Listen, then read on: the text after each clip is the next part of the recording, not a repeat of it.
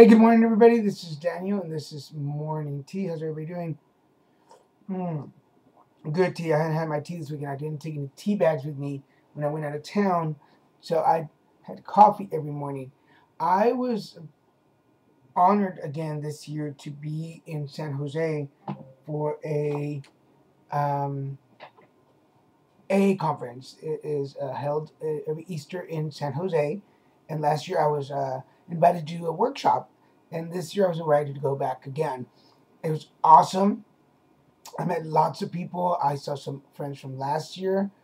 I made some really good friends. I had a blast. I had a blast. One of the best things was uh, there is a certain point in the night where we go from the oldest person in recovery who's had the longest recovery to the person who has was there the first day, and I was blown away. There was a gentleman sitting to my right over who had been clean and sober, well, I'm assuming sober, for 40 years. I was blown because I'm 40 years old and he's been sober as long as I've been alive. That just blew me away. It was, it was, it's a very emotional weekend. Um, there's one coming up here in Laguna Beach.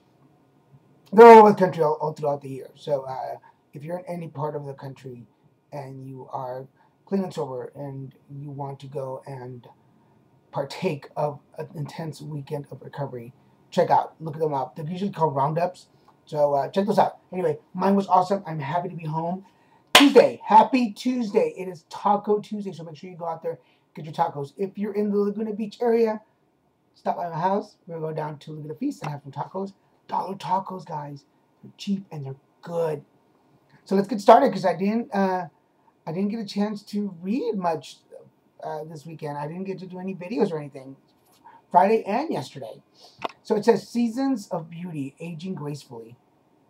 As we cultivate our life, our beauty becomes as much about what we are creating and doing as it is about our appearance.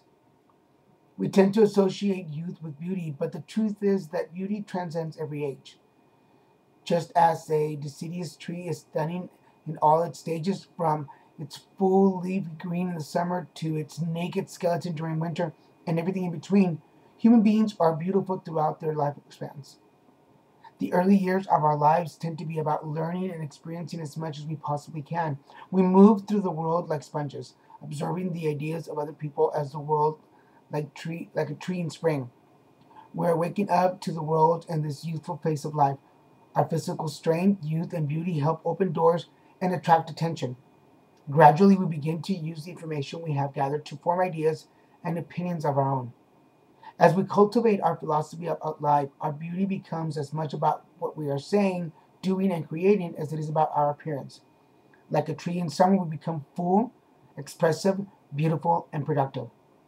When the time comes for us to let go of the creation of our middle lives, we are like a tree in autumn dropping leaves as we release our past attachments, and preparing for a new phase of growth. The children move on and careers shift or end.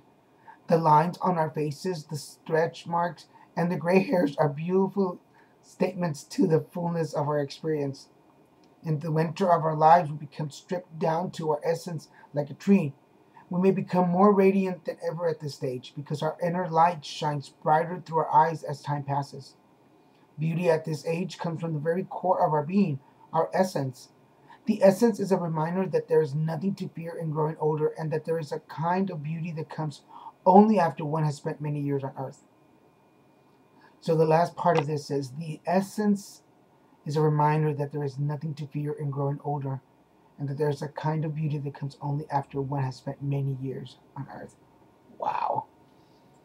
It just gave me chills. Um, wow. Um,